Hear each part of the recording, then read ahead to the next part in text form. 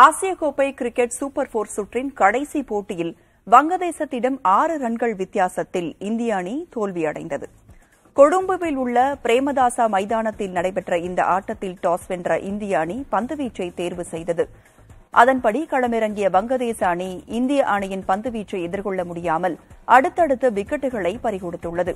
Captain Shakib Al Hasan மற்றும் டவுஹித் நிதானமாக விளையாடி அணியை சரிவிலிருந்து மீட்டனர். ஷகிப் அல் ஹசன் எண்பது ரன்களிலும் டவுஹித் ஐம்பத்து நான்கு ரன்களிலும் ஆட்டமிழந்தனர்.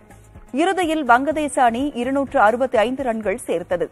இந்தியா தரப்பில் அதிகபட்சமாக ஷர்துல் தாக்கூர் மூன்று விக்கெட்டுகளை வீழ்த்தினார். தொடர்ந்து களமிறங்கிய இந்திய அணியின் கேப்டன் ரோஹித் சர்மா ரன் எதுவும் எடுக்காமல் ஆட்டமிழந்தார். தொடர்ந்து திலக் வர்மா கே எல் ராகுல் இஷான் கிஷன் ஆகியோர் சொற்ப ரன்களில் ஆட்டமிழந்தனர். மறுபுறம் நிலைத்து நின்று விளையாடிய சுப்மன் கில் சதம் அடித்து நூற்று இருபத்தி ஓரு ரன்களில் ஆட்டமிழந்தார். இறுதியில் இந்திய அணி அனைத்து விக்கெட்டுகளையும் இழந்து ஆறு ரன்கள் வித்தியாசத்தில் தோல்வியடைந்தது. ஏற்கனவே இறுதிப் போட்டிக்கு தகுதி பெற்ற இந்திய அணி நாளை இலங்கையை எதிர்கொள்கிறது.